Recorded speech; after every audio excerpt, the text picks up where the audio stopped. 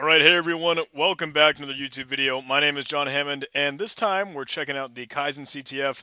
Still going through the web challenges. This time I want to showcase the Fun with Flags uh, 1 challenge. This was 200 points, um, was really kind of interesting and fun. Um, wasn't too difficult once we saw what we needed to do here. So here's the challenge prompt. Dr. Sheldon Cooper is bringing Vexillology back with his Fun with Flags podcast, as well as a brand new website, which is a ton of flags, how meta. Check out his page here and find the flag in the PHP source code for members.php. Okay, so we need to find source code, PHP source code. Source code. We can check out the web page, and it's a, it's funny um, Sheldon Cooper thing. Looks like there are some buttons here that don't go anywhere other than the exact same page, despite they are advertising other things. Um, latest video. Okay, that looks like a real video. I'm not going to play that because of copyright stuff. Um, and it looks like there are links to sign up and log in. So can I log in?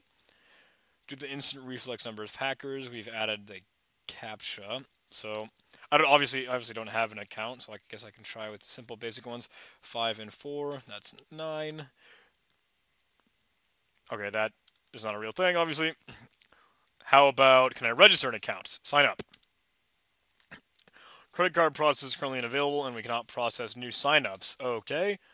So I'm assuming this is a dead end, at least just for thoughts wise. Um, I tried throwing it at some low hanging fruit. I threw it at Nikto, the command line thing to scan it. I also checked out the robots.txt, and that was what initially threw me at the interesting things.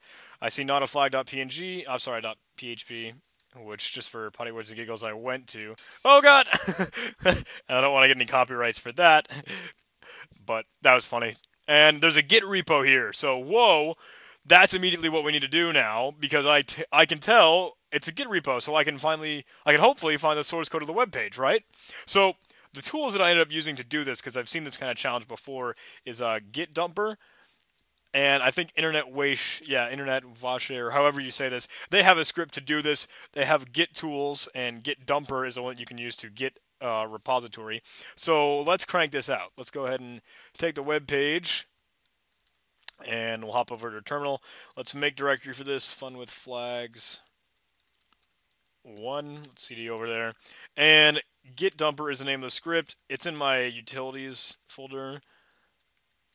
Git tools, dumper,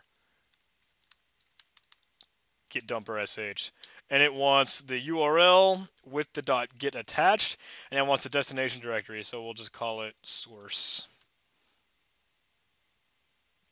And then it downloads everything. So awesome. We can change directory in there, and there's currently nothing in there, but we know it's a Git repository, so we can git log, and we okay, we see the history, initial commit of the logs, and we get this SHA-1 ID number, the SHA-1 hash to be the commit ID number. So I can show that and there we go. Now we have all the source code for the web page, supposedly.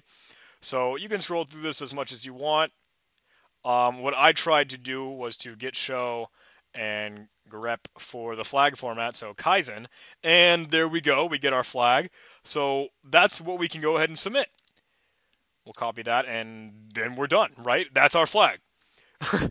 that solves this challenge. That's all that we, we need to do. If we wanted to, you could keep scrolling through this. Um, this does get into how you can break into the next challenge, um, which I will showcase in the next video. But that's what you do. You download the Git repository and look through the source code files that he kept for whatever reason on the web page.